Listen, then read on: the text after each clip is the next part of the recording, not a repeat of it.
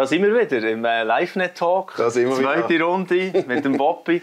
Äh, der hat es ja schon geahnt, oder, dass wir es nicht können lassen, dass das Gespräch noch ein bisschen weitergegangen ist. Und wir lassen euch einfach teilhaben. Wenn ihr Lust habt, hört noch ein bisschen mit, was wir da so äh, zu berichten haben. Eben, wir sind beim Andreas Bobby Boppart im Campus für Christus da in Zürich. Er ist äh, Missionsleiter vom Campus. Äh, von, zuerst in der Schweiz angefangen und jetzt Ja. ist Deutschland und Österreich auch dazugekommen. Also ein mega äh, Einflussbereich eigentlich rein so, wo du managst, wo, wo du ja, dran bist. Und äh, wir haben schon ein dein Herz gespürt von dem äh, ja, gross, äh, nicht, nicht nur ein verkürztes Evangelium, sondern ein grosser Gott, eine Weite, ein neues Land, ein weites Land. Äh, das, das, was du gängig in der letzten Zeit ein bisschen reinbringst. Und du hast auch erzählt davon, dass ähm, eben Gott manchmal an Orten wirkt, wo man nicht würde erwarten Ja, würde. genau. Denken, aber hier, hier kann es jetzt irgendwie Ja. nicht, nicht, nicht Ja, so sein. Also hier, oder? Wir Ja. meinen, wir haben ja selber auch so Ja. manchmal innere Thesen, ja, also nein, hier und jetzt, ja, Ja. okay, jetzt, das macht ja nichts, morgen gehe ich wieder in die Kilo. Oder was auch Ja, genau. Erzähl uns doch einmal so ein bisschen, äh, vielleicht ein Müsterli, wie du das auch schon selber erfahren hast. Ja, sehr gut. Ich, manchmal ähm, könnte man ja ein bisschen wild auch sagen, dass Gott eigentlich fast nur dort wirkt, wo wir eigentlich sagen, darf er nicht wirken. Irgendwie habe ich das Gefühl, er macht das fast extra. Also hat fast Freude, aber dort, wo wir uns unsere frommen Gefäße machen, dort tut es uns manchmal auch seelisch einfach gut. Und natürlich ist wahrscheinlich irgendwo Gott auch noch drin. Aber äh, also ich, ich bin, Israel war für mich so ein, ein, Momentum, in der Grabeskirche zu stehen. Und dann bist du in der Grabeskirche und Menschen, Massen pilgern an den Ort. Ja, Zehntausende, Hunderttausende von Leuten pilgern an zu dem Stein, wo, man sagt, das ist der Salbigstein, wo Jesus drauf gesalbt worden ist. Und äh, meine, der, der hat eine heilende Kraft, das sagt man. Das heißt, Leute pilgern dort hin, die liegen auf den Stein drauf, die schlecken den ab, küssen den, legen ihre Hütchen drauf, Fotos von Angehörigen daheim. Einfach, dass die ein Mhm. Ja, bisschen... erlebt, Ja, ja. genau, das Genau. ist auch schon also, Ja, ja. crazy. Oder der Ort, wo, wo, wo, wo so viel sollte passieren und so viel Hoffnung ist. Und ich stand da in, in meinem Ecke mit meinem pragmatischen, theologischen Glauben und Wissen und man weiß, dass der Stein erst etwa 12. 13. Jahrhundert äh, aus der Türkei ein- eingeführt worden ist. Also entweder ist Jesus kurz in die Türkei in die Ferien und hat sich dort noch selber lassen, aber wahrscheinlich eher nicht. Also, der Stein hat überhaupt nichts mit Jesus zu tun. Also, da kann nichts passieren. Das ist purer Aberglaube. Das ist so mein inneres Herz. Also, ich bin da und denke, Leute, also was machen die? Geben euer Geld aus, für einen Ort zu gehen, wo Gott nicht ist.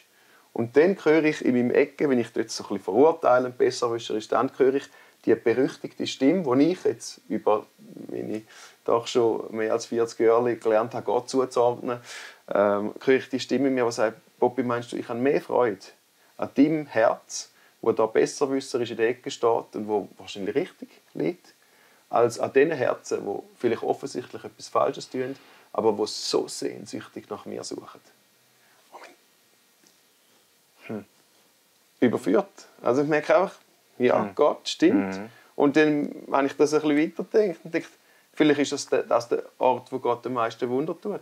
Da, wo wir frommen alle sagen, also fromm, wir frommen, die haben es ja fromm oder, oder sehnsüchtig im Minimum. Ähm, aber wo wir jetzt in, in unseren Kreisen würden sagen, das darf nicht sein, das kann nicht sein, das ist falsch, sogar noch archäologisch, archäologisch falsch, also das kann nicht sein. Und Gott sagt, ja, das kann nicht sein und genau darum bin ich da. Genau wie ich da vielleicht Menschen heilen. Weil die ein Herz haben, das sich nach mir sehnt. Sie suchen vielleicht an einem Ort, wo ich nicht wäre, aber ich bin doch Gott, ich kann doch dort sein. Ich kann doch auftauchen und Menschen heilen. Und das äh, hat mich so, eben wenn dann die Evangelischen wieder sagen, man darf nicht zu Maria beten und all diese Sachen, ähm, vielleicht ist Gott entspannter, weil in der Kirche siehst du dann all die Dankenschreiben, äh, wo Menschen geheilt worden sind, wo dann die einen würden sagen, das kann nicht sein und wo dann vielleicht andere würden sagen, ist gar nicht die Frage, ob es richtig oder falsch ist. Oder Gott würde es vielleicht dann so sagen, es geht doch nicht immer um das Richtig und Falsch. Wir sind so penetrant auf dem, auf dem Wahrheitsding, ähm, weil man das Gefühl hat, es muss immer alles so wahr sein. Und vielleicht sagt Gott, ja, dann macht halt jemand etwas falsch, aber ich bin so sehnsüchtig.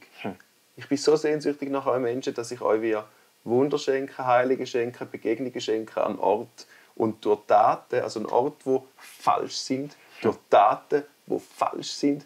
Und das hat mich mega Also ich meine, das ist nicht jetzt ein theologisches Konzept, das ich über alles streichen würde, aber Mhm. hat mich schon sehr weich werden lassen mit, äh, und, und vorsichtig mit all dem, was ich immer sage, wahr und falsch. Und ich glaube an absolute Wahrheiten. Also, ähm, aber ich glaube auch fest an Verkürzungen, dass wir so viel verkürzt sind. Also wenn du nur schon nur Trinität nimmst, das Dreieckli, das ist ja, ich, ja, im früheren Leben bin ich ja noch Mathelehrer gewesen, Mathe, Biophysik, Chemie und die Geometrie habe ich immer geliebt, weil Mathe, Geometrie, die Sachen, äh, die, die haben so Klarheit drin. Also es ist so klar, ein, ein Winkel ist ein Winkel und hat bestimmt, das kannst du messen, also es ist so klar.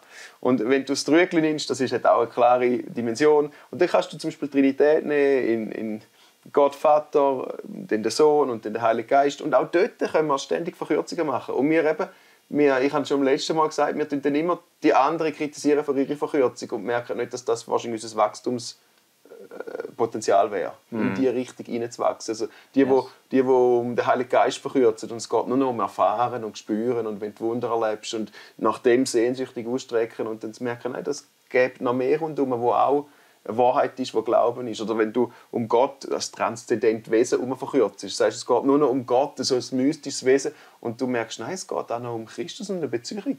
Und du kannst ja noch um die Liebe, du kannst bei Gott verkürzen und sagen, es geht nur noch um das höchste Gebot der Liebe. Weißt du, da ist alles drin. Dann sage ich, ja, stimmt, tönt total wahr. Aber wenn du nicht mehr weißt, was da alles drin ist, dann ist alles nichts. Also du musst ja schon, äh, es geht nicht nur um die Liebe, es geht auch darum, dass Jesus sagt, ich bin die Wahrheit. Die Wahrheit ist in seiner Person zu finden. Vielleicht eben nicht in einer Liste von Dogmen, wo man aufschreibt, sondern in dieser Beziehung zu ihm ist Wahrheit zu finden. Und dann, und da vielleicht auch viele von unseren Zuhörern, verkürzen dann um Christus und sagen, es geht nur um Christus, es geht nur um ihn und äh, merken nicht, dass man dann zum Beispiel vielleicht eben Verrat an dieser Liebe begeht. Also man, man, man ist dann so auf dem, man muss um Christus die Wahrheit bewahren und alles, dass man merkt, hey, das, das muss in einem untrennbaren Zusammenspiel, nicht in einem Gegenspiel, sondern ein Zusammenspiel mit der Liebe passieren, wo Gott ist, mit dem, was der Heilige Geist in uns bewirkt, in Menschen bewirkt. Sonst wird es ungesund, weil nicht das Falsche müsste uns Angst machen. Das ist immer das, was wir am meisten Angst haben, sondern das, was uns wirklich müsste Angst machen ist eben nicht das Falsche vom anderen, sondern die eigene Einseitigkeit. Da, wo ich einseitig geworden bin, da wird es ungesund, da wird es giftig für mein Leben, für meine Mitmenschen. Und da braucht es einen, ich finde, das ist, muss jetzt ein, kultureller Gesundungsprozess bei uns in unserer christlichen Community passieren, dass wir alle in diesen Ecken von diesen Dreiecken, wo wir sitzen, und es gibt noch hundert andere Verkürzungen mehr, aber dass wir sagen, wir probieren aus denen herauswachsen, einander entgegen, wir brauchen einander, ähm, um Gott mehr erkennen und zum gesund werden. Yes, also das ist das, wo ich kann auch noch eine Geschichte vielleicht erzählen. Ach, sehr gerne. Von, sehr von gerne. Israel ich schnüre da ja ständig. Israel nämlich auch gerade. Also das ist für mich auch ein Augenöffner gewesen. Ähm, Ich war vor der Pandemie gerade noch in Israel gewesen. Gott sei Dank, nämlich äh, sehr vieles äh, in dieser Zeit gang wieder ja, äh, können zehren eigentlich von dem, Ja. von, von dem, was ich erlebt habe. Aber äh, eigentlich ist es mir gesundheitlich dann gar nicht so gut gegangen. Also ich, ich eigentlich an dem einen Tag, wo wir dann am Jordan waren, ich habe, mir ist es eigentlich nicht, nicht gut gegangen. Äh, Noch, äh, so irgendwie eine, doofe Fieberplatte bekommen. Es ist mir, ah, ich dachte, nein, irgendwie fast, nein, ich begegne Gott sicher nicht. Dann sind wir dort an Jordan. Wegen der. Fieberblätter? Ja, ich habe mich so genervt und geschämt. Ah, sicher? Ja, das, manchmal, ja, das, man hat halt so seine Stachel. Ja, ja, genau. Und äh, auf jeden Fall, und dann der Dave Hörle und ich stehen dort äh, am Jordan und dann ist, ist äh, wie, wie, wie der Heilige Geist über uns gekommen. Wir haben, wir haben nur noch die lauter Wasser gerannt, äh, dort hier, und, und haben wirklich wir haben eine Gottesbegegnung gehabt. Ich kann das äh, nicht, Oh, nicht genau sagen. Trotz der Fieberblätter. Ja, kann man heute lachen, ja. Ja. Aber, aber äh, ja, du kennst einen Moment, oder? Du, du Ja. denkst gar nicht, nein, jetzt, eben, Heute ist nicht der Tag. heute ja. ist irgendwie nicht, ist gar nicht der Tag. So.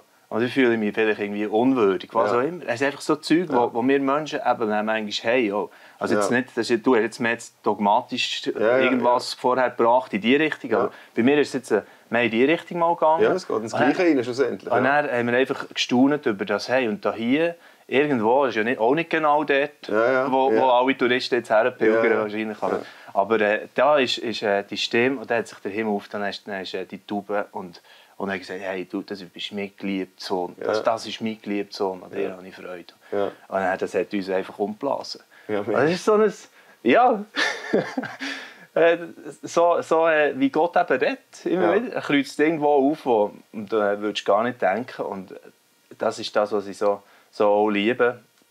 Aber er, er braucht gleich, und da können wir jetzt vielleicht auch noch so ein bisschen die Frage stellen, braucht natürlich gleich wie Gefäß und etwas organisiert, Killen.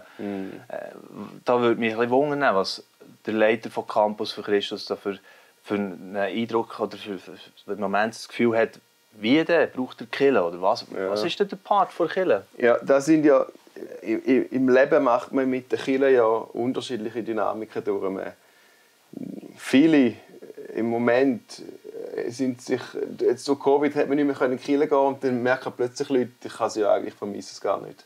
Oder Familien, die sagen, wow, eigentlich schön am Sonntagmorgen nicht keinen Stress, immer die drei, vier Gofen noch irgendwie müssen anzulegen, um in die Kirche zu kommen. Und man hat den ersten Streit am Morgen und müsste dann heilig spielen, weil dann alle zuschauen. Also all die Krämpfe, die in irgendwelchen Leben drin sind.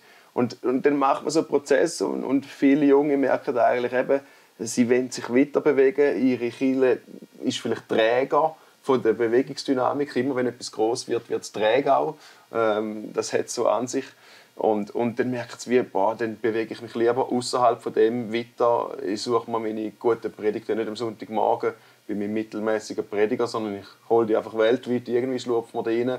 Der Worship ist auch bei uns eher ähm, den Grenzen verträglich. Also ich lasse einfach online die besten Worships von der ganzen Welt. Also da ist ja etwas reingekommen, wo, wo Kirche ähm, eigentlich torpediert als System. Gleichzeitig aber merkst du dann hoffentlich auch irgendwann, wenn du mal durch die Prozess durch bist, was du in der Kirche hast, nämlich eine Gemeinschaft, wo du ist einfach das ist ja das, was wir dann in, in Covid-Zeiten, in Pandemie, Pandemie äh, auch vermissen, die, das Miteinander, das du allein daheim nicht kannst erzeugen kannst. Das zusammen singen, zusammen sich nach Gott ausstrecken, die Sachen, wo als Volk Israel hat das immer wieder gehabt. Du hast schon Einzelglauben, aber irgendwann immer die Momente, wo du als Volk zusammenkommst Genau. und wo Gott sich nochmal anders manifestiert und anders zeigt. Und dann merkst du wieder, ja, Chile ist tatsächlich ist etwas, wo, wo wir Menschen schaffen. Wir brauchen das. Wir, brauchen, wir müssen Sachen in, in ein, äh, wir müssen Gefäße bauen, wo, wo wir können Inhalt hineingießen können. Sonst ver, verfließt uns das. Darum, Chile ist unglaublich wunderbar und wichtig und Chile ist unglaublich hässlich und anstrengend. Also einfach beides. Also äh, ich, ich glaube, wir dürfen nicht daran zerbrechen, dass Kille so zerbrochen ist. Also das Kille ist aus uns Menschen geschaffen und weil ich so ein zerbrochener Mensch bin, ist auch die Kille so zerbrochen. Und du kannst einfach die Art von der Zerbrochenheit wählen, je nachdem, in welche Kille du gehst. Die eine passt dir besser von deiner Persönlichkeit, die andere von der Spiritualität, die dritte von der Energie, die vierte von der Ortsabbundenheit. Wähl deine äh, Kille, Ja, I couldn't genau. care less. Ähm, und ich glaube, wir dürfen als, als kirchliche Gemeinschaft lernen, eben voneinander lernen und dann aber auch uns, wir dürfen uns weiterentwickeln. Das muss man wirklich mal aussprechen. Wir dürfen Chile neu gestalten. Wir müssen Chile immer wieder neu gestalten. Wir müssen das Gefäß immer wieder neu erfinden und nicht betonieren und sagen, lass uns überlegen, was wir wollen bewahren. Und wir sagen, das ist uns so wichtig. Ähm, das wollen wir bewahren, das darf man auch aussprechen. Und dann andere Sachen, wo wir sagen, da tun wir uns mutig weiterentwickeln. Aber ich glaube, ein Entwicklungsschritt ist sicher, dass wir mehr ähm, Resonanzräume brauchen. Wir müssen Kirche zu einem Resonanzraum werden lassen, wo Menschen können reinkommen und wo, wo sie können Gott erleben können. Es braucht im Moment weniger den Ort, wo sie ankommen und dann kommen sie all die Wahrheiten über auf, äh, und die Antworten auf die Fragen, wo sie sich einfach nicht stellen. Sondern wir müssen eher, äh, das ist in den letzten Jahrzehnten auch manchmal ein ein Gefälle gewesen, dass bei den Christen sind die Wahrheiten, wir tun die den anderen allen sagen genau. und dann kommen sie zu uns. Das ist so ein Gefälle. Und ich glaube, im Moment braucht es, und das ist auch etwas Gesundes, dass das wieder gesund braucht es eine Augenhöhe, eher miteinander sind wir unterwegs, miteinander folgen wir dem Christus nach, egal wie nah und wie weit weg jeder steht, und miteinander probieren wir dem Jesus nachzusagen, miteinander probieren wir den Gott zu erleben, miteinander probieren wir absolute Wahrheiten auf die Spur zu kommen, miteinander äh, sind wir unterwegs. Da, glaube ich, braucht es eben so Resonanzräume, wo, wo Kirche schafft, Ort von der Begegnung, wo Leute können ich sage dem einmal angstfreie Zone, wo sie rein können, wo Ja, sie sich genau. können wohlfühlen wo sie können ihre kritischen Fragen stellen und das getraut man sich ja schon fast nicht, weil sobald du als Christ in einer Kirche bist und anfängst, zwei, drei Sachen hinterfragen, die du bis jetzt geglaubt hast, dann ist es schon ketzerisch. Eben, du hast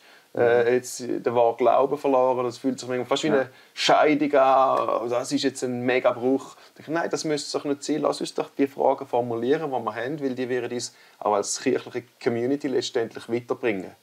Dass wir nicht am meisten Freude an den Antworten haben, sondern dass wir eigentlich anfangen, am meisten Freude an den Fragen bekommen. Die richtige Frage wird uns Ja. vorantreiben und nicht die richtige Antwort. Also was ich sehr ein schönes Wort finde jetzt in, in dem, was, was du hast ausgeführt hast, ist, ist das angstfrei, oder? Also, ich meine, das, das ist ja das, was die Menschen heute ganz häufig einfach nicht mehr leben, oder? Ich kann so äh, mehr hineingeben mit meinen Fragen, ohne dass, dass, ich grad, äh, dass es grad, äh, auf, auf die Waage gelegt wird und Ja. ausgewertet und zack und Ja. zack. Und dann verrissen vielleicht im schlimmsten Ja. Fall. Also das, find, das wäre vielleicht schon die grosse ähm, Chance, die wo, wo, wo Kirchen auch haben, oder? Voll. Ich glaube, dass, dass, also, es, bricht mir ja das Herz manchmal, wenn ich Leute zulasse, wie sie uns als Kirche sehen. Als die, einfach sie schauen uns von außen an und die sind nicht einmal gegen uns. Aber dann frage ich, wie nimmst du uns wahr? Und dann heisst es, wow, ihr seid schon sehr eng und borniert. Ihr hackt auf Sachen rum. Ihr habt Themen, die mich nicht interessieren, weil ich bin gerade mit Planeten und er Erhaltung und Energie und ähm, Zeug und Sachen beschäftigt und Gerechtigkeit und alles. Und das geht ja an euch vorbei. Und ich sage, geht ja an uns nicht vorbei, würden wir das Evangelium wirklich lesen. Wäre es der tiefste Bestandteil vom Evangelium. Also die gute Nachricht hat ja eben nicht nur mit dem Kreuz angefangen oder hat nicht nur mit dem Kreuz zu tun. Jesus hat die Leute ausgesendet und gesagt, bringt das Evangelium. Also bringt das in die Welt. Und dann hat er, äh, also das hat es schon vorher gegeben. Da muss man sich eben darum wieder überlegen, was ist wirklich das Gute an der guten Nachricht. Ähm, jetzt weiss ich nicht mehr, wo ich auswählen kann. Mit dieser Kirche, du hast eine gute Frage gestellt. Also, genau. Was immer gesehen. Die Resonanzräume äh, vorher schon und dann das Angstfrei als Stichwort habe ich eigentlich dort vor allem mal Ja, ja, das, hat mir noch gefallen. Ähm, mhm. Das müssten wir fast noch, das müssen wir fast noch mal schauen. Nein, wir können ja einfach weitermachen. Ja, wir, können, wir können ja dann mal äh, irgendwie das nachschauen und sagen, dort hätte er eigentlich einwählen. Und dann wäre sagen, oh nein, das wäre ein guter Gedanke. Das wär- gewesen. ja, ja. Das wäre jetzt der Gedanke gewesen, der hätte jetzt eigentlich Da, die... da das- ist jetzt Boden gefallen. Ja, genau. Okay. Ich, ich, ähm, ich fände es cool, wir würden, ähm, wir würden zum Beispiel anfangen, bei anderen Kirchen hineinschauen und dann merken, dass uns manchmal ja dann unwohl ist und was macht uns unwohl, dass wir dort hingehen. Also das hat mir manchmal geholfen. In Kirchen fühle ich, in anderen Kirchen, wo ich mich nicht äh, gewöhnt bin, fühle ich mich schnell unwohl. Einfach weil ich merke, uh, ähm, ich habe mich einfach angefangen, in meiner Kirche wohlfühlen. Das öffnet einem den Blick manchmal für die Augen. Und äh, ich bin bei dem, gewesen, dass, dass wir uns die Leute anschauen. Eben, Ja, dass genau. sie dann sagen, äh, boah, ihr, sind, ihr sind die, die lieblos sind. Jetzt haben wir es wieder den Faden aufgenommen. Ihr sind die, die mich irritieren. Ihr sind die, die mich ausgrenzen. Also ihr seid definitiv nicht inklusiv. Und all die Sachen. Und dann lese ich das Evangelium und merke, bei uns ist der Ort, wo massiv Liebe vorhanden ist. Also Gott ist Liebe. Heftiger Statements gibt es nicht. Äh, Und dann sage ich, ähm, warte mal, wieso ist das nicht sichtbar bei uns? Man wird bei uns sagen, Wahrheit. Wir sind penetrant auf dieser Wahrheit. Aber, aber die Liebe, also lass uns doch mal die nächsten paar Jahre und Jahrzehnte üben, zu lieben. Da sind wir doch massiv krank. Ähm, und nicht auf Kosten von der Wahrheit. Die darf ja oben sein, aber vielleicht mit einer, mehr mit der, Anti-Right wird dem Generous Orthodoxy sagen. Also mit einer großzügigen inneren Lehrhaltung. Ich sage, ich habe eine Lehrmeinung, aber die musst du nicht einmal teilen. Sogar wenn ich das Gefühl habe, die ist absolut richtig, aber da bin ich generous, großzügig. Und mich jetzt das, ah, schau, jetzt kommt wieder alles, das ist schön wieder, das Hirn mal funktioniert. Ähm, äh, das hat mich dann so ähm, angefangen ähm, schmerzen, dass ich merke, dass eigentlich ich ja der Ort will sein, wo Leute sagen, ich bin auf der Suche nach Liebe und nach angenommen sein und nach eingebunden werden in eine Gemeinschaft. Und genau bei euch, ihr seid tatsächlich die Letzten on Planet Earth, wo ich das suche. Da gehe ich eher zu E- EDK und die sind inklusiver, die haben Weihnachtsspots, die mehr Botschaft bringen, die mich abholen. So, ich bin crazy, what's Ja. wrong with us? Oder eine, eine, eine Geschichte von einem Kollegen, wo, wo in seinem Leben ähm, äh, fremdgegangen und dann ist das rausgekommen und er will sich das Leben nehmen. Und das ist voll in der Kille drin. Wo ich denke, warte mal, wieso machst du das? Wieso bist du, du wärst doch an dem Ort, wo du genau jetzt seit Jahrzehnten äh, hörst, wir sind angenommen, wir sind geliebt, da gibt es Vergebung, all diese Sachen. Du könntest jetzt auch sagen, ich habe einen Scheiß gemacht und ja. da wäre der Ort. Mhm. Und sogar er, der zu tief drin ist, weiß, es ist nicht der Ort. Weil, mhm. Wenn ich das öffentlich mache, werde ich verurteilt, werde ich rausgehauen aus meinen Ämtern, die ich in der Kirche habe, werde ich äh, schräg angeschaut, wird, wird man mich reden. Also merke ich, da ist etwas falsch. Mhm. Da ist etwas falsch, zutiefst falsch. Und ich hoffe, dass jetzt ein paar Leute, dass ihr daheim jetzt nervös werdet. Und ich habe nichts gegen Kille. Ist das Gegenteil. Ich liebe ja Kille. Ich liebe ja, dass, dass, dass Gott uns so geschaffen hat, dass wir zusammen mit unterwegs ja. sind. Aber das muss uns doch anfangen, ernsthaft anzuschauen lassen. Mhm. Wo haben wir Potenzial, wo haben wir Wachstumspotenzial und wo leben wir in Verkürzungen, leben wir in Verengungen drin, äh, haben wir Sachen vielleicht eben so fest betont, wenn es wahr sind, mhm. aber ist einseitig geworden. Mhm.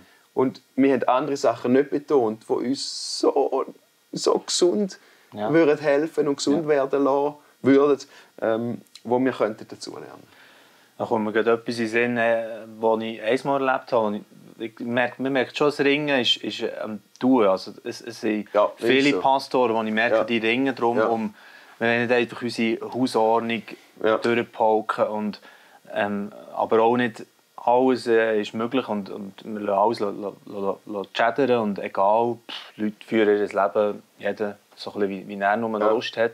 Kann ja, und dort drinnen so äh, rund um die Ehe für alle Debatte ist das, ja. ist das dort hier gewesen. Also wie, ja. wie leben wir jetzt das? Ja. Weil die Menschen sind, sind einfach Teil von unserer Gesellschaft und wir wollen es annehmen, aber haben irgendwie Versen, wo, wo uns dort drin äh, einfach ja, ein bisschen im Weg stehen. Und dann merkst du schon, dort, das Ringen muss, muss ja wie, wie kommen. Unbedingt. Und dort tut ihr euren Beitrag in dem Sinne jetzt auch leisten, die Explodays, wo, wo man kann weiter diskutieren kann. Ich glaube, das, das ist eigentlich ein super Übungsfeld oder so.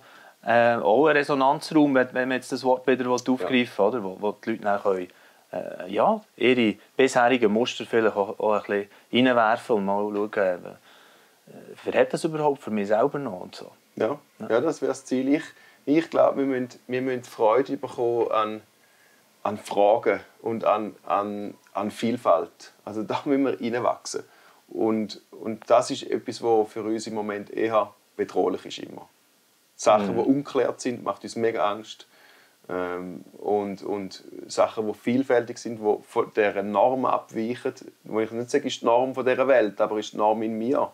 Also wir, wir landet immer wieder beim, beim, Bibelverständnis. Ja, was ist denn dieses Bibelverständnis? Und äh, natürlich, wenn du sagst, jede Bibelstelle muss, kann nur eine ganz klare Aussage haben, das ist mal das eine. Dort bin ich nicht. Ich glaube, das ist mehrdeutiger.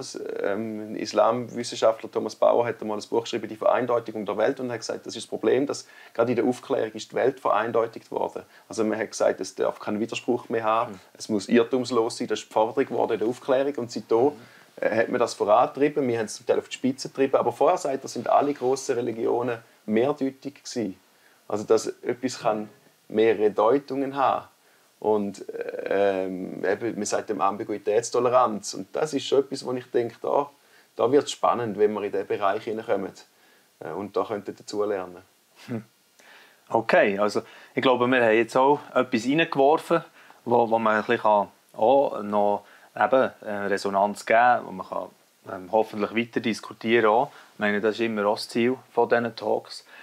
Äh, es war sehr spannend, Poppy, mit ja. dir da ein bisschen Zeit zu verbringen. Also. Ich glaube, jetzt machen wir wirklich einen Schlusspunkt. Ja, wir zwei werden wahrscheinlich jetzt nicht mit aber, Kaffee noch weitermachen, ja, aber wir, tun alle hier jetzt rausknallen. Jetzt, äh, sorry, ja, es ist halt manchmal, äh, irgendwo hat es Grenzen manchmal.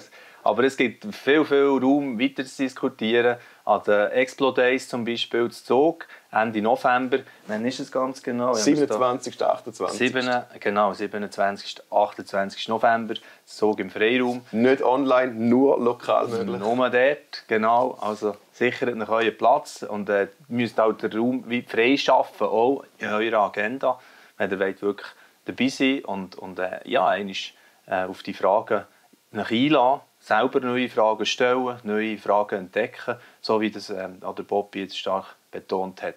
Danke für euer Interesse. Mhm. Wir sehen uns gleich wieder im nächsten LiveNet-Talk und wünschen euch einen schönen Tag noch. Tschüss zusammen. Tschüss. Dieses Video ist nur möglich dank freiwilliger Unterstützung der Community. Unser Ziel ist es, täglich ein neues Video zu veröffentlichen. Um dieses Ziel zu erreichen, suchen wir 365 Videopartner, die uns mit je 150 Franken pro Jahr unterstützen. Als Videopartner trägst du direkt dazu bei, dass noch mehr Menschen das Evangelium hören und im Glauben ermutigt werden. Melde dich jetzt als Videopartner an unter www.livenet.ch/videopartner.